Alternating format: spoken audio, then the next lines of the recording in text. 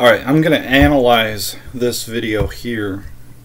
Okay, uh, just to show you that there's a constant attack on the Word of God. And people that have no wisdom are teaching things that they know nothing about. Alright, and I'm going to show some more evidence of this. This is crucial, this is important because it's not rocket science. It's real simple, but these people are making money selling these this uh, this idea of a zombie period on Earth, and it's never going to happen. All right, so I got to a minute 28 of this, and I thought, you know, I got to talk about this because this is incredible stuff. That the links that people are going to is amazing. Uh, people with a lot of money teaching uh, things where they have no wisdom at all. So let's start here.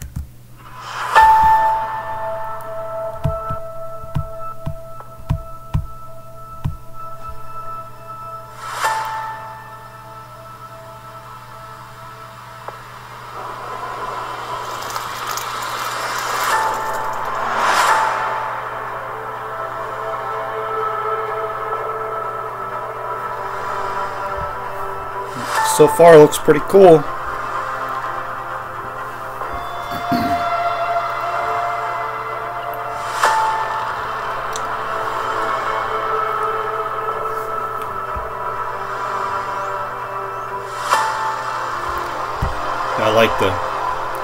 Heliocentric model of the Earth, huh?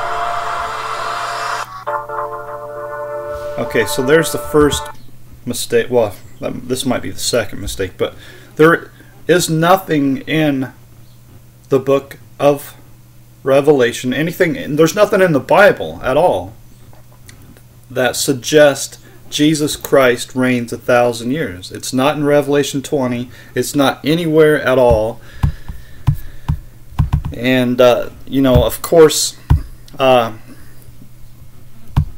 you go to Luke, um, Luke uh, chapter 1, verse 33. It says that he shall reign over the house of Jacob forever, and his kingdom there shall be no end. His kingdom doesn't have an end, it has no period. He's from everlasting. Okay, let's go.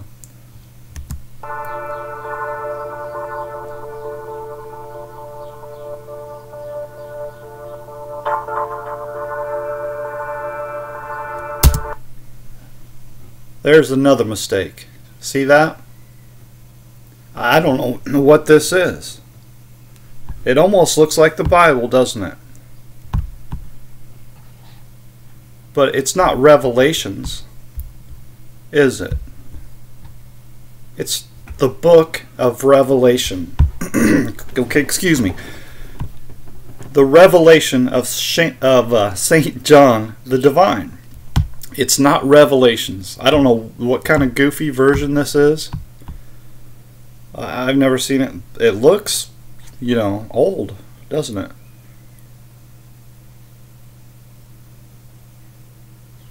Is that even English? I don't know, but it, it's not a big deal. It, but it's just, you know, we see the word Revelations twice, and it's in uh, 2 Corinthians 12. That's the only time the word revelations is used in the Bible. It's never used in the book of Revelation. Not a big deal, but you know, I've just never seen this before.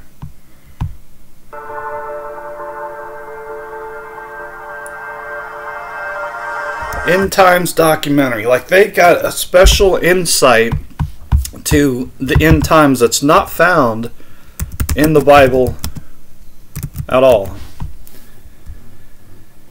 I just want to share this verse with you. Knowing this first, know this first, that no prophecy of the Scripture is of any private interpretation.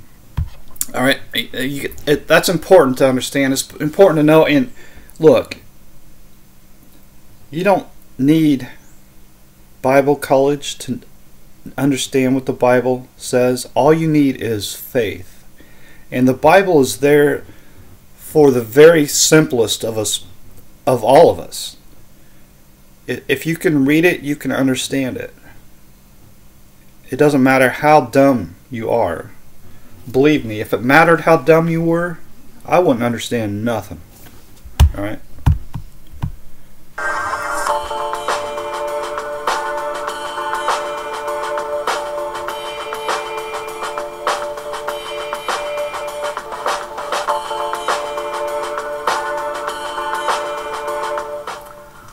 Revelation chapter 20.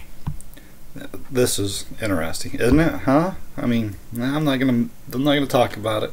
introduces the glorious reign of Christ on this earth. No, it doesn't. Chapter 20 introduces the glorious reign of Christ on this earth, which is known as the millennium. Okay, so Revelation 20 actually, here, if you don't believe me, let's take a look at it. It talks about believers reigning with Christ, and they lived and reigned with Christ a thousand years. This is not Jesus Christ reigning a thousand years. Like I said, he reigns forever. All right, this is mentioned twice here in the Revelation 20. Uh, I just showed you this verse. They lived and reigned with Christ a thousand years, and in verse six, they shall be priests of God and of Christ, and shall reign with Him a thousand years. We are priests of Christ and of God right now, just like what we read in First Peter chapter 2 but ye are a chosen generation a royal priesthood you are a royal priesthood right now. Now, let's uh, take the mystery out of the term millennium. It is uh, the mystery. This guy's got secret insight and he wants your money. a Latin word which is made up of two words. it means a thousand years. I, you can you don't have to look at the latin to understand what a thousand years means. This is simple stuff. This is not rocket science you don't need foreign languages to tell you what an english word means The words mille, which means Oh, a for thousand. dog's sakes, man! I'm gonna break this word down. It's nobody's has. I don't believe anybody's has ever been confused about this word. But go ahead, break it down anyway. and the word annum, which means years. Mille annum, a thousand years. So the word millennium means a thousand years. No sh- And the text of Revelation chapter 20 is the only place in the Bible where that actual word appears. And it appears in the text six different times. If you look down in your Bibles, you will notice in verse 2 it says, He laid hold of the All right, let's see. First of all, let's point these out because I don't know if he's gonna quote from a goofy, a goofy uh, Bible version or not. Oops, what I do wrong? Oh, I know what I did wrong. The word millennium is not there. Hold on a second. What did he say? track. If you word appears, and it appears in the text, place in the Bible where, and the text of Revelation chapter 20 is the only place in the Bible where that actual word appears, and it of 20 What- what- what 30, actual word? I mean, he he got it. He went into this big thing. Am I missing something here?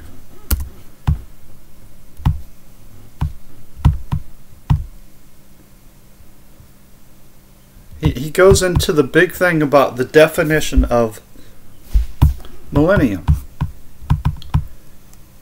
Mil millennium.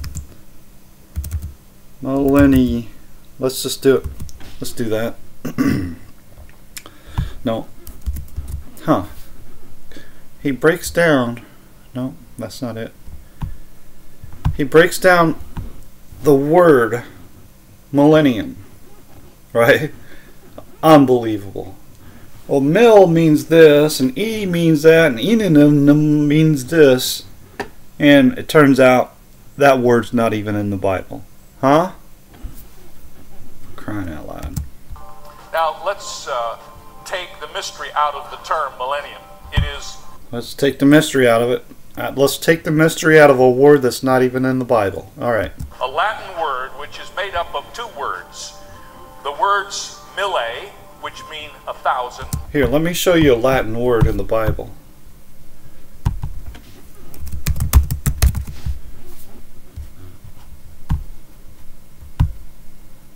There's a Latin word right there.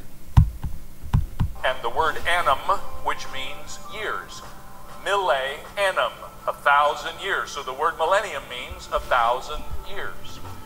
And the text of Revelation chapter 20 is the only place in the Bible where that actual word That actual word, that actual word is not found in the Bible anywhere.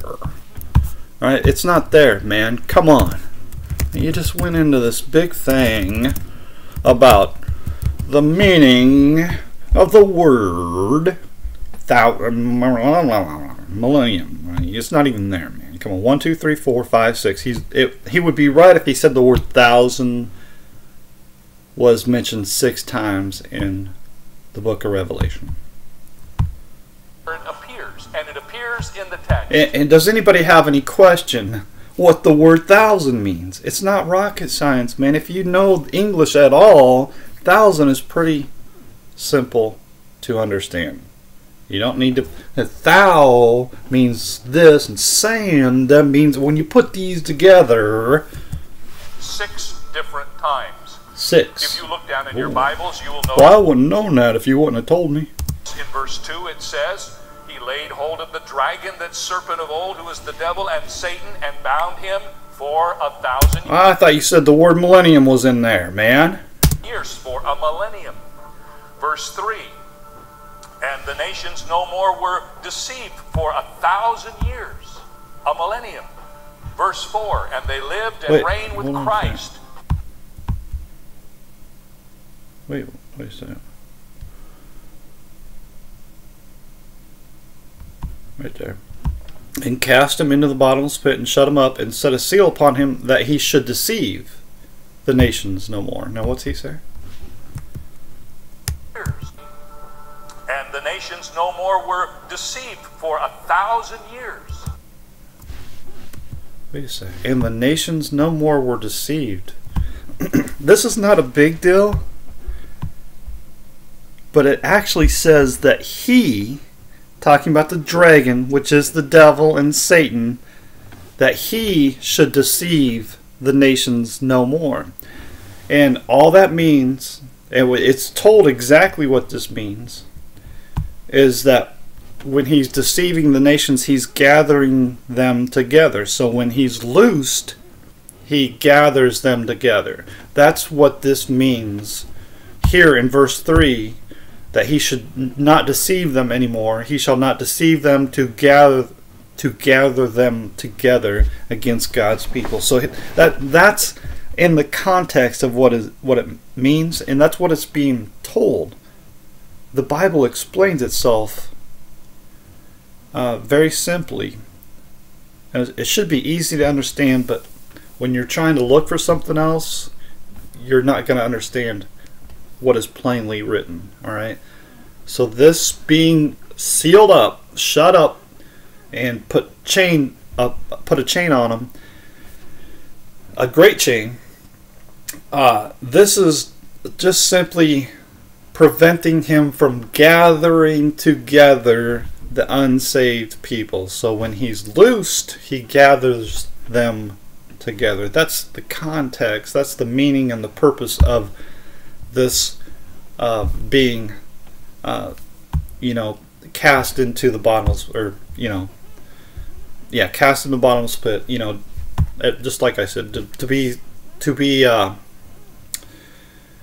to be chained up. Okay, let's go. And the nations no more were deceived for a thousand years, a millennium. Verse 4. It, it just, just so, um, just to shine some light on this. This this is not a zombie period.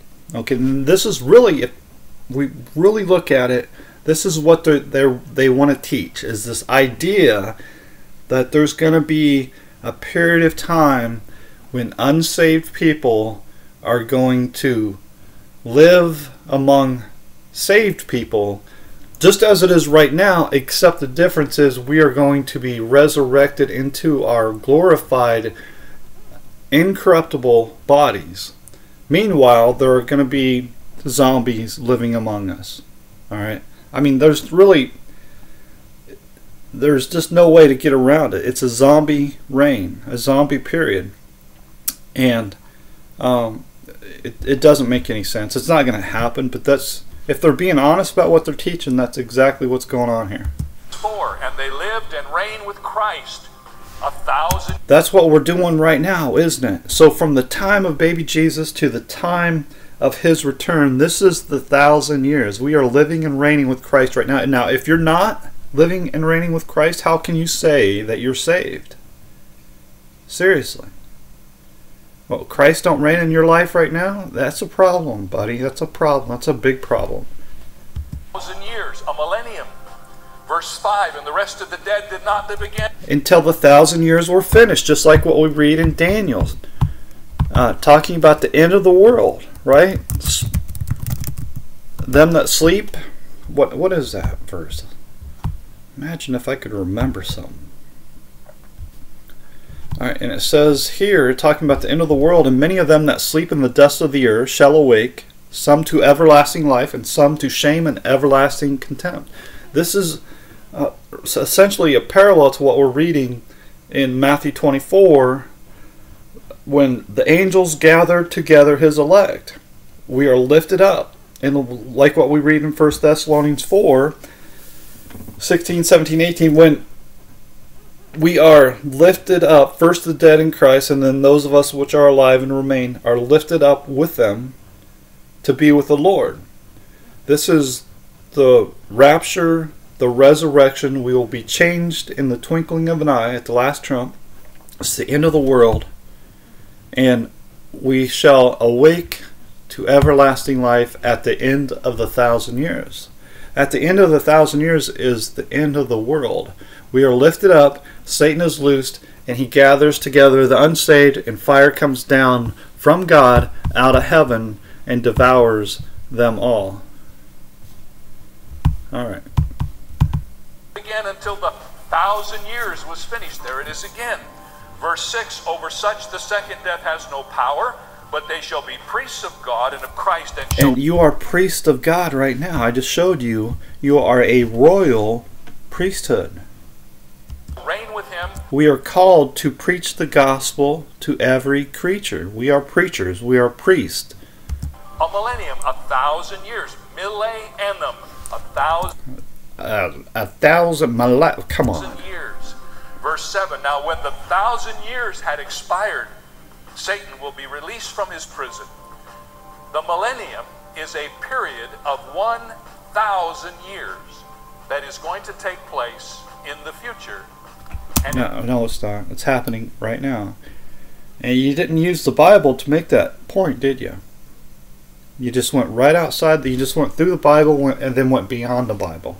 it is a very important subject for us. I agree. And you better not get it wrong. And buddy, you're getting it wrong. to discuss. Now, I need to tell you that there is no more subject in all of Bible prophecy that is more controversial than this one. Well, I, I don't know about that. Um, wh- what I will say is that overwhelming majority of people are getting it wrong, A- and this just it's further evidence that we are in the end time. And all the secret to understanding it is to believe the Bible you hold in your hands. To believe these are the words from God to you. Believe these words. They are the Word of God.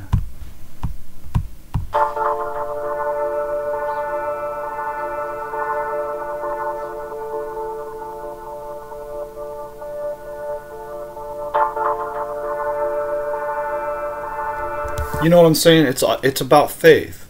It's always been about faith, right? We go to I think it's Hebrews 11. Noah became heir of the world by faith. Noah, being warned of God of things not as not seen as yet, moved with fear, prepared an ark to the saving of his house, by the which he condemned the world, and became heir of the righteousness which is by faith.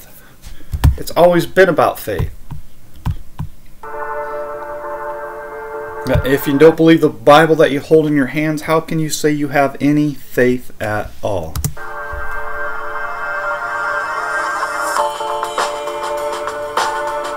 Boogie, boogie woogie, boogie, boogie woogie.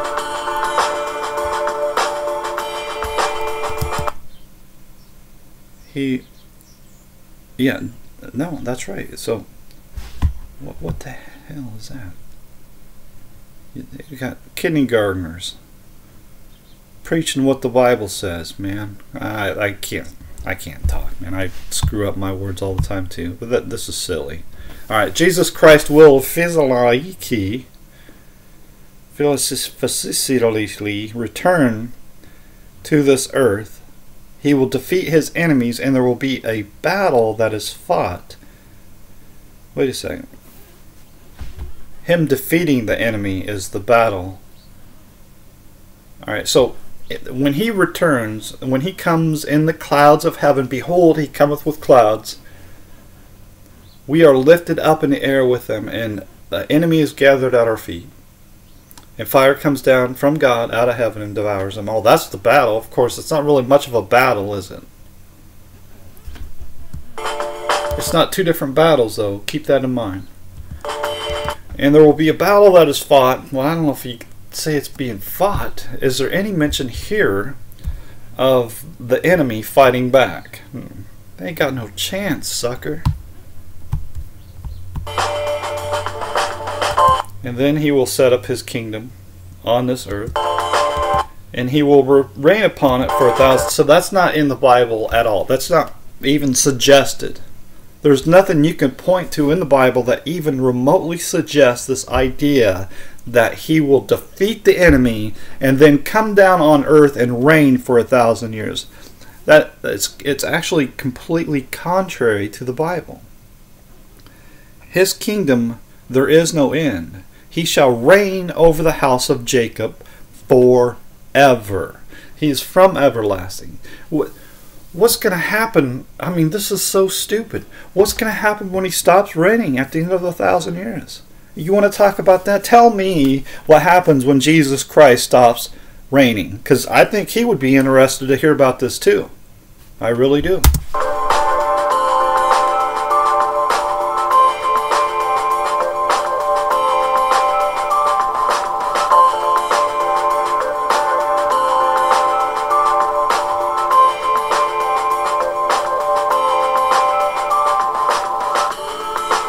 Boogie! Boogie woogie. Not seven years. That's not.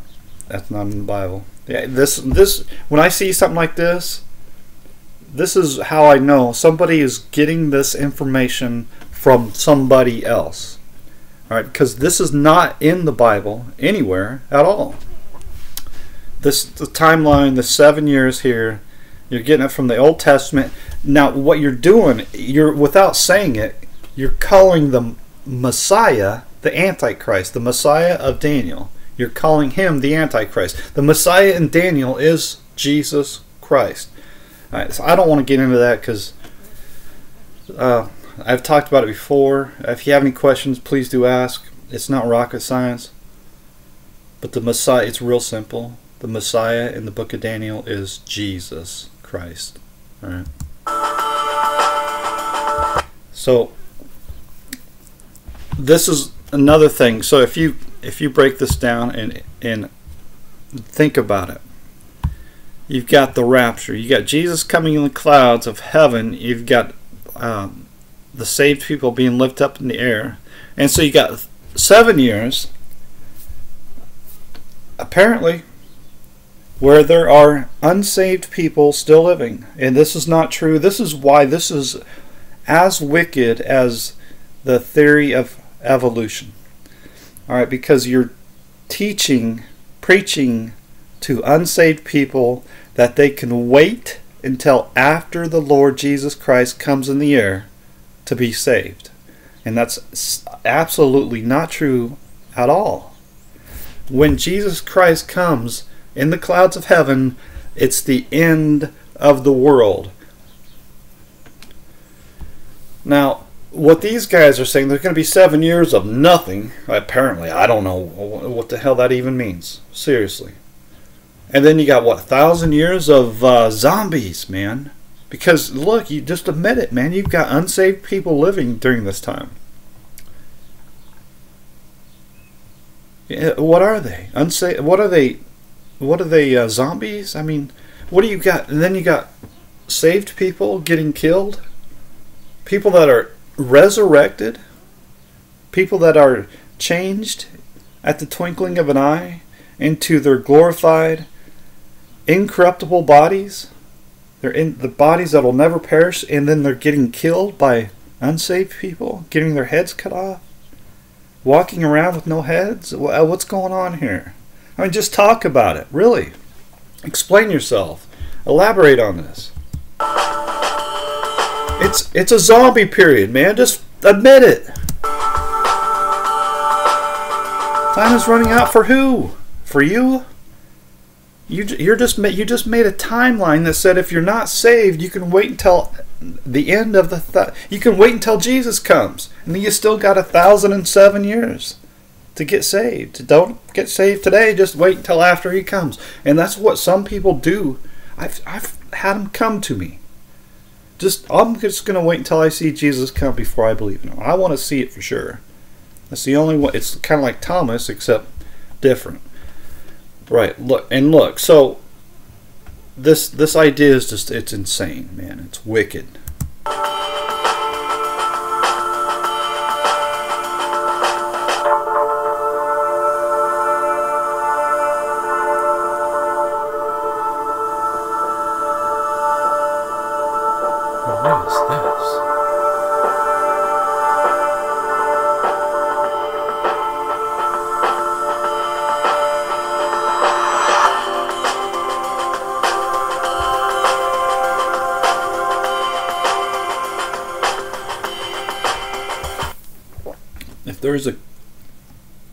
If this is a a period of perfect peace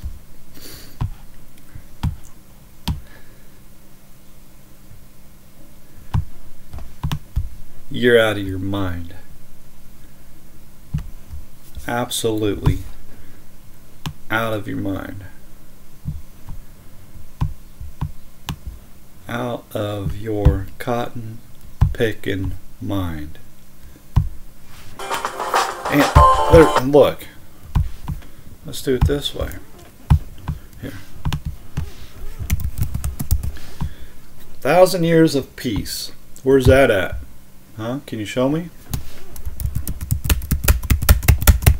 It's not there.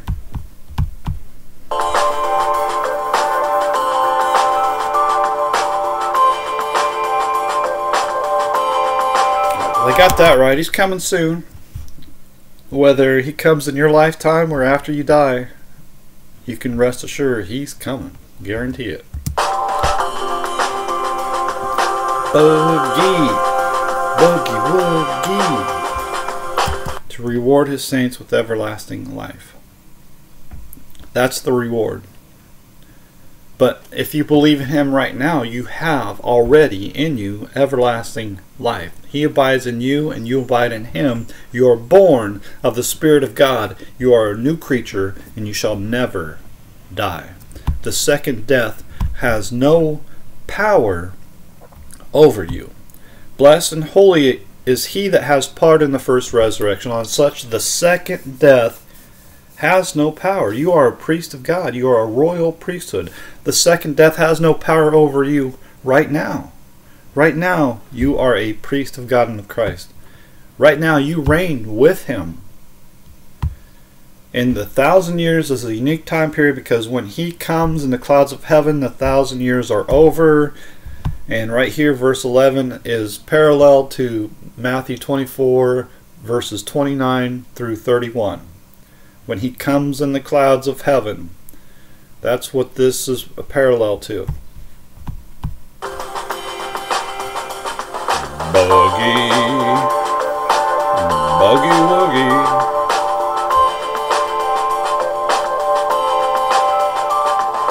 Buggy, buggy.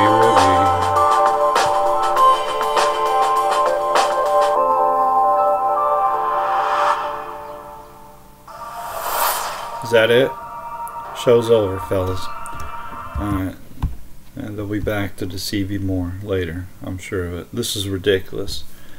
Um, I just, the thing is, I just wish people would be honest about what they believe.